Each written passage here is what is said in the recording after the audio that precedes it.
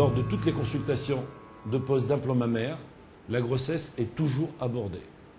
Nous laissons le soin au docteur Cédric Rond d'y répondre.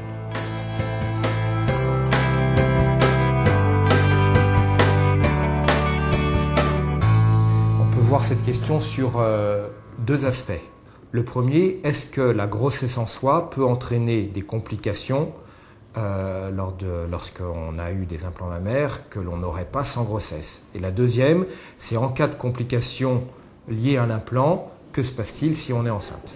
Alors dans le premier cas, non. Tomber enceinte n'entraîne pas de, de complications particulières vis-à-vis de l'implant. Il faut savoir que euh, quand on tombe enceinte, on va avoir des modifications du volume et de la forme de sa poitrine, et il va y avoir éventuellement une modification de l'aspect final euh, de la poitrine et de l'implant qui est compris dedans sur un plan du résultat esthétique. Mais il n'y a pas d'étude qui a montré une majoration du risque de coque ou du risque de complications uniquement lié au fait d'être euh, enceinte.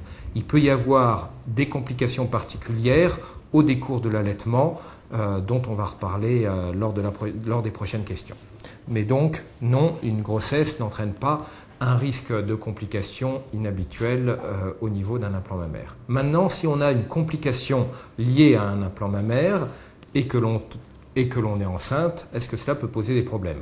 Alors c'est une question très vague parce que effectivement, si jamais on a par exemple une complication à type de coque qui survient sur l'implant et que l'on est enceinte, eh ben, on mettra priorité au bon déroulement de la grossesse plutôt qu'au traitement de cette coque. Il faut savoir qu'il n'y aura jamais d'urgence chirurgicale à la traiter et qu'on pourra de toute façon sursoir aux complications liées à l'implant de façon à ce que la grossesse se déroule le plus parfaitement possible.